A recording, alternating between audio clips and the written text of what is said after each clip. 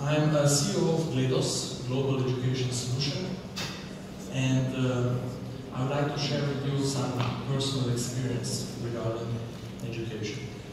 Um, so I have a friend who works at Microsoft, uh, and 15 years ago when he started his studying days, he attended a course called New Telecommunication Technologies.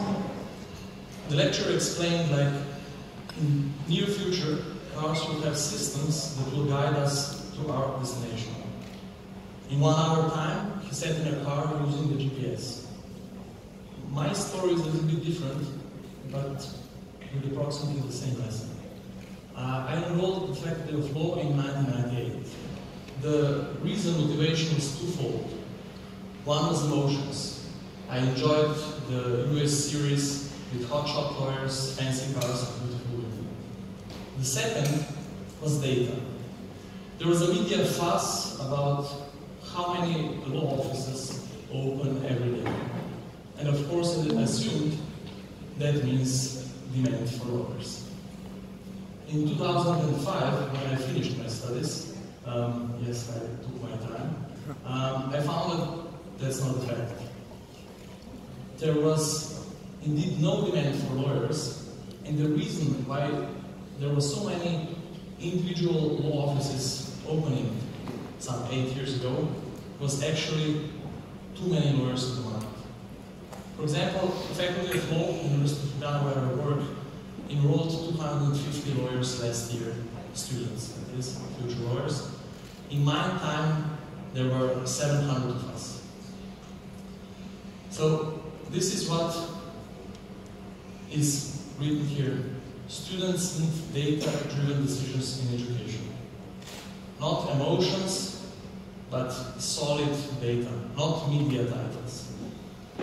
The second thing I noticed in my, let's say, three years to, in uh, faculty is there are a lot of really quality lecturers, professors in small, middle-sized universities.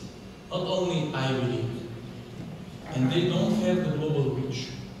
We don't know about them because they're not as renowned. Another thing is, I come from Slovenia, a little country, um, and I believe my educational opportunities are never the same as, for instance, for a citizen of the US. Of course, in theory, we can all sit on a plane, fly to Harvard, and apply. But real life is a little, little bit different. I believe you all have, let's say, some experience from the educational system. And, um, for example, have you ever sat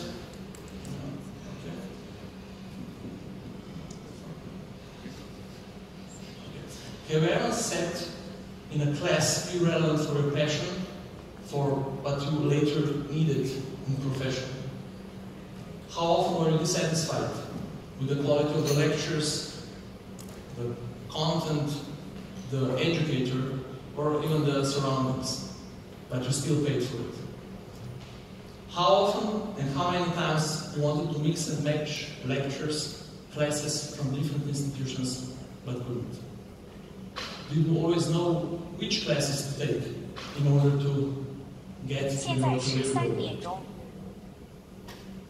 I believe not. This is how the idea of GLEDOS was born. We need data-driven decisions in education. That's why we made a coalition. A coalition of stakeholders, that is, ministries, we have endorsement from two ministries, uh, research labs, one of our uh, supporting labs is Institut Jožef Stefan, which is one of the largest EU-based AI labs. Student associations, high school and university students associations, and companies.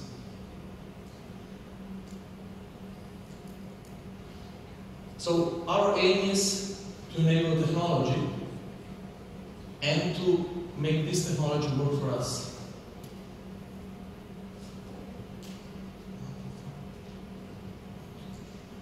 So, is technology a threat? Boston Consulting Group estimated in a survey that by 2025, one quarter of all professions will be gone or at least really altered. Another Oxford study, two years previously, stated that in another decade, almost half of all professions in the US will be. So, does that mean that the future of education and the ways we know it is all black? Of course not. We should use technology in order to improve obtaining knowledge, learning, teaching.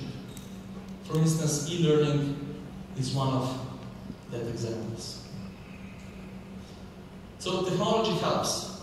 Blockchain and artificial intelligence should help us obtain knowledge, teach, learn.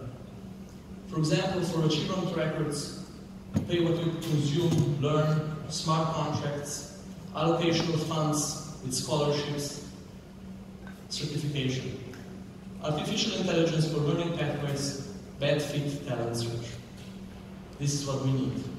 But most of all, we need cooperation of all the stakeholders. Of learning content providers, teachers, students, in the widest sense of the word, meaning lifelong, ongoing students. Employers need employees that learn. One of my motto is, a man learns all his life, but yet he dies a fool. I believe everyone who seeks for success should follow that motto. Business and governments, they're also an important, important stakeholder. And of course, basis in technology. Data-driven decisions would enable students to select the most relevant programs from among the best, to assemble, combine different courses according to their needs and interests, and to earn a degree. One size fits all system is not sufficient anymore. It's not good enough.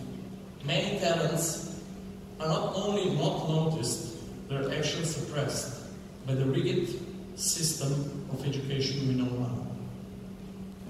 We should change it. In addition, we should enable businesses, labor market, to give us data, constant flow of data regarding the needs of the businesses. For example, there's a need for blockchain developers. If you had such data some time ago, content providers would adapt, form courses that would suit that needs, students would attend, and there would be much less structural unemployment than it is now. Of course, IT uh, sector is not the greatest example because um, IT profession is, let's say, more adaptable than some, than some others, but I believe that would make an impact. GLEDOS is not just a company. It's a coalition of AI labs, strong governmental support, students, companies, organizations, all coming together around one thing. An initiative. An initiative to change the educational process. To enable data-driven decisions based on artificial intelligence all in one place. Education is in the center. It's life goal of every individual. I believe it's not only in individual's interest, but it's the common, the society's interest to make this knowledge as accessible as possible and to allow every individual to empower himself in the area he feels best.